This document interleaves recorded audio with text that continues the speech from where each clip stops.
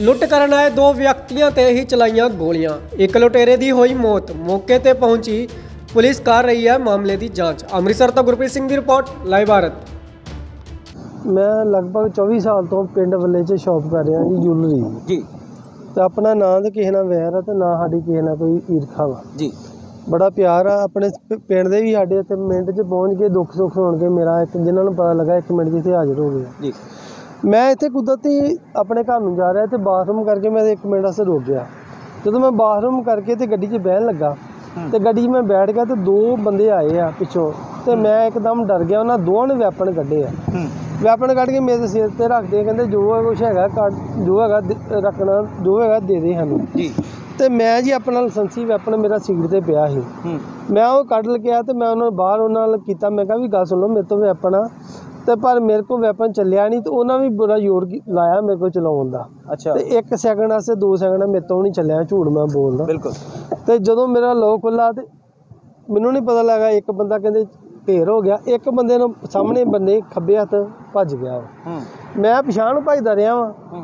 ਮਤਲਬ ਪਿਛਾਂਹ ਨੂੰ ਚਲ ਗਿਆ ਹੌਲੀ ਹੌਲੀ ਭੱਜਿਆ ਨਹੀਂ ਹੌਲੀ ਹੌਲੀ ਪਿਛਾਂਹ ਨੂੰ ਚਲ ਗਿਆ ਵਾਂ ਆਪਣੇ ਇੱਧਰ ਆਪਣੇ ਬਚਾਅ ਵਾਸਤੇ ਆਪਣੇ ਉਹ ਪੰਜ ਰੌਂਡ ਸੀ। ਜੀ।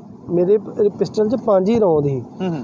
ਤੇ ਉਹਨਾਂ ਦੇ ਕੋਲ ਵੇਖ ਲਓ ਜੇ ਦੋ ਪਿਸਟਲ ਸੀ ਤੇ ਉਹਨਾਂ ਕੋਲ 10 10 ਵੀ ਕਿੰਨੇ ਵੀ ਹੋਣਗੇ ਮੈਨੂੰ ਨਹੀਂ ਪਤਾ। ਤੇ ਮੈਂ ਕਰਕੇ ਮੈਂ ਕਿਹਾ ਇਹਨਾਂ ਕੋਲ ਦੋ ਹਥਿਆਰ ਆ। ਤੇ ਜੇ ਇਹਨਾਂ ਨੇ ਮੈਨੂੰ ਠੋਕ ਹੀ ਦੇਣਾ। ਬਿਲਕੁਲ। ਉਹ ਇੱਕ ਬੰਦਾ ਜਿਹੜਾ ਵਾ ਉਹ ਦੂਜਾ ਜਿਹੜਾ ਉਹ ਇਹਨੂੰ ਭੱਜ ਗਿਆ ਵਾ। ਉਹਦਾ ਨਹੀਂ ਚੱਲਿਆ ਜਾਂ ਇਹਨਾਂ ਨੇ ਚੱਲਿਆ ਰੱਬ ਜਾਣਦਾ। ਮੈਨੂੰ ਬਾਬਾ ਦੀਪ ਸਿੰਘ ਨੇ ਬਚਾ ਲਿਆ ਮਹਾਰਾਜ ਨੇ ਬਚਾ ਲਿਆ। ਅੱਛਾ ਭਾਜੀ ਇਤਫਾਕ ਸੀ ਕਿ ਤੁਸੀਂ ਇਸ ਮਹੀਨੇ ਬਾਹਰ ਲਾ ਲਓ ਸਾਲ ਦੋ ਮਤਲਬ ਜੋ ਸਰਦੀਆਂ ਰੋਜ਼ ਲੰਗੀ ਦਾ ਸੋਚਿਆ ਨਾ ਕਿ ਦੀ ਗੱਲ ਨੰਗੀ ਨਹੀਂ। ਨੰਗੀ ਦਾ ਰੋਜ਼ ਮੇਨ ਤੋਂ ਹੀ ਆ। ਇਧਰ ਵੀ ਨੰਗੀ ਦਾ ਕਿਸੇ ਵੇਲੇ ਬਾਥਰੂਮ ਕਰਨ ਵਾਸਤੇ ਇੱਥੇ ਰੁਕ ਜਾਈਦਾ। ਕਿਉਂਕਿ ਇੱਥੇ ਬਾਥਰੂਮ ਕਰਨ ਵਾਸਤੇ ਕੋਈ ਇੱਥੇ ਤੁਹਾਨੂੰ ਪਤਾ ਕੋਈ ਜਗ੍ਹਾ ਨਹੀਂ ਹੈਗੀ ਇਹ ਖਾਲੀ ਹੈਗੀ ਜਗ੍ਹਾ। ਤੇ ਆਪਾਂ ਤਾਂ ਕਰਕੇ ਰੁਕ ਜਾਈਏ ਚਲੋ ਬਾਥਰੂਮ ਕਰਨਾ ਇੱਕ ਮਿੰਟ ਅਸੀਂ ਇੱਕ ਮਿੰਟ। ਹਨੇਰਾ ਹੁੰਦਾ ਇੱਥੇ। ਅੱਛਾ ਇਹ ਝਾੜੀਆਂ ਦੇ ਵਿੱਚੋਂ ਨਿਕਲੇ ਇੱਕਦਮ?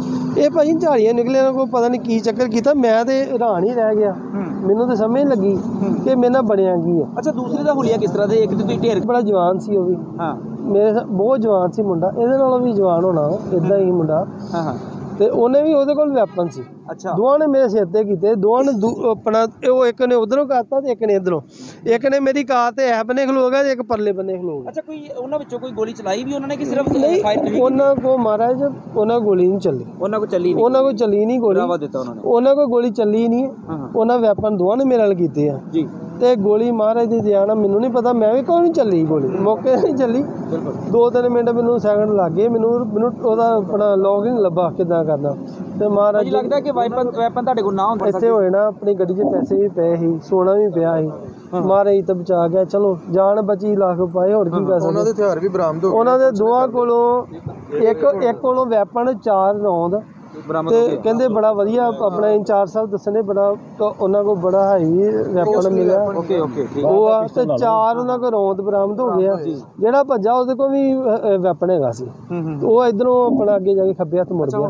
ਮੈਨੂੰ ਲੱਗਦਾ ਕਿ ਉਹਦੇ ਵੱਡੀ ਗੱਲ ਹੈ ਜਿਸ ਤਰ੍ਹਾਂ ਦੀ ਇਹ ਘਟਨਾ ਵਾਪਰਨ ਜਾ ਰਹੀ ਸੀ ਚਲੋ ਪ੍ਰਮਾਤਮਾ ਨੇ ਰੱਖ ਦੇਖੋ ਜੀ, ਅੱਜ ਕਰ ਦਿੱਤਾ। ਇਸ ਤਰ੍ਹਾਂ ਘਟਨਾ ਨੂੰ ਕੀ ਕਹਿੰਦੇ ਅਸੀਂ ਲੋਕ ਆਰਡਰ ਨੂੰ ਕੀ ਅਸੀਂ ਤੇ ਕਹਿੰਦੇ ਆ ਵੀ ਆਪਾਂ ਤੇ ਮੈਂ ਇਕੱਲਾ ਹਾਂ ਤੇ ਮਹਾਰਾਜ ਹੀ ਤੇ ਬਚਾ ਗਿਆ ਨਾਲ ਇਤਿਹਾਸ ਕੋਈ ਬੱਚਿਆਂ ਵਾਲਾ ਧੀਆਂ ਪੁੱਤਾਂ ਵਾਲਾ ਬੱਚਿਆਂ ਛੋਟੇ ਛੋਟੇ ਬੱਚਿਆਂ ਵਾਲਾ ਬਾਹਰੋਂ ਬੱਚਿਆਂ ਨੂੰ ਵੀ ਆਉਂਦਾ ਬਾਹਰ ਸਾਰੇ ਪਰਿਵਾਰ ਦੁਨੀਆ ਦੇ ਜਾਂਦੇ ਆ। ਕਿਉਂਕਿ ਸੜਕਾਂ ਤੇ ਸਰਕਾਰ ਨੇ ਕੋਈ ਇਦਾਂ ਦਾ ਕੋਈ ਇੰਤਜ਼ਾਮ ਕੀਤਾ ਨਹੀਂ ਆ।